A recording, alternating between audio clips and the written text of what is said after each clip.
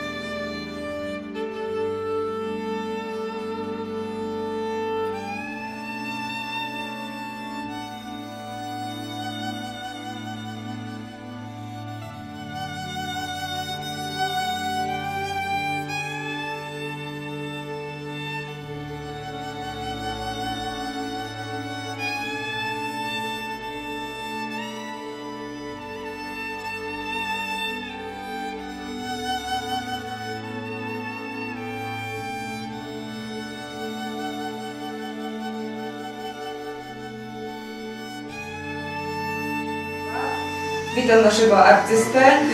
Serdecznie. E, jesteśmy w domowej galerii pana Zbyszka, który przez ostatnie pół roku realizował bardzo ciekawe stypendium e, dotowane przez Ministerstwo Kultury i Dziedzictwa Narodowego, a tytuł stypendium to Ginące rzemiosła Beskidzkiej Trójwsi dłutem zatrzymane. E, w ramach tego stypendium powstało aż 20 rzeźb przedstawiających właśnie e, te dawne rzemiosła, dawne zawody, dawne zajęcia, które już dzisiaj powoli znikają niestety e, z naszego pejzażu kulturowego, chociaż niektóre jeszcze możemy na pewno dostrzec, a niektóre już właśnie tylko na rzeźbach zatrzymane zostały dłutem. Pana Zbyszka myślę, że nie trzeba przedstawiać. Rzeźbiarz ludowy E, syn Jana Krężeloka, zwanego e, Beskidzkim Witem Stworzem. Nabywał tych umiejętności właśnie od ojca, e, także już drugie pokolenie rzeźbiarzy. Pan Zbigniew Krężelok już od ponad 50 lat zajmuje się rzeźbiarstwem, prawda? To już od tak, tak. ponad 50 lat. Ma w swoim dorobku kilkadziesiąt wykonanych stajenek, między innymi do Augsburga, E, czy figura Matki Boskiej, która trafiła do Lucerny, także jego prace, nie wszystkie skatalogowane, e, trafiły do wielu miejsc właśnie w kraju i za granicą. E, to też między innymi figura świętego Floriana na remizie koniakowskiej, krzyż na Białym Krzyżu, Chrystus, dobry pasterz w kapliczce na Lalikach. Tak, zgadza się? W prywatnych kolekcjach jest bardzo dużo rzeźb, no ale to jest to po prostu udokumentowane. Tak, także ogrom, ogrom wykonanej e, pracy. No i jak widać E, Jak widać tutaj e, ta praca ciągle trwa. E, Przez ostatnie pół roku, szczególnie tutaj w warsztacie pana Zbyszka, dużo się działo. Skąd właśnie, skąd e, inspiracje do powstania tych prac? E, Skąd też wiedza o, tym, o tych tradycyjnych e, rekwizytach? Widać, że właśnie wszystkie te postaci e, są właśnie takie przyłapane na działaniu, na wykonywaniu właśnie tej, tych rzemiosł, prac. Także skąd, skąd te informacje? Czy to są podpatrzone jeszcze właśnie Znaczy, może jest w takim wieku, że, że, że pamięć jeszcze y, załóżmy 30 lat wstecz, to wszystko się działo na żywo. No, w dobie cyfryzacji niestety teraz ten świat wygląda trochę inaczej. No a ja chciałem to jakby utrwalić te, jakby to powiedzieć, sceny, które się dzieją no, normalnie na, przed domami albo sobie tam kobiety robiły masło, albo klepał głosem, bo się szykowali rano do koszenia i to, to była codzienność życia górali Trójwsi Beskidzkiej. No, ale Wszystko, wszystkie te rzeźby nie są żadną abstrakcją, tylko to, co zapamiętałem i utrwalone zostało właśnie tak, utrwalone zostało. No, widzimy tutaj, ale wiem, że niektóre te postaci mają takie pierwowzory e, w, w prawdziwym właśnie świecie. Tutaj na przykład mamy handlerza i tu pan Zbyszek mówił, że właśnie to była konkretna postać. Kto No to jest był? to Koniakowski Mikusz, starsze osoby go na pewno znają. Mieszkańcy Koniakowa tu chodził po wsi i skupował tam butelki skóry z królika i tym, tym po prostu się jakby utrzymywał, no, z, tego, z tego żył. Ta rzeźba na przykład, opowiem tylko o tych z opowiadań mojej mamy.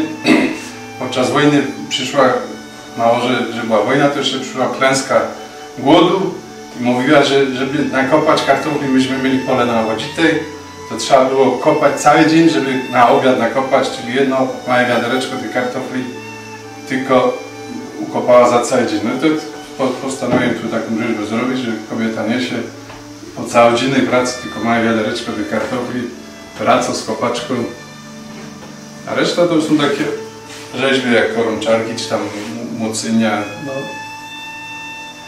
to co zapamiętał, to, to po prostu jak rzeźbił, nie?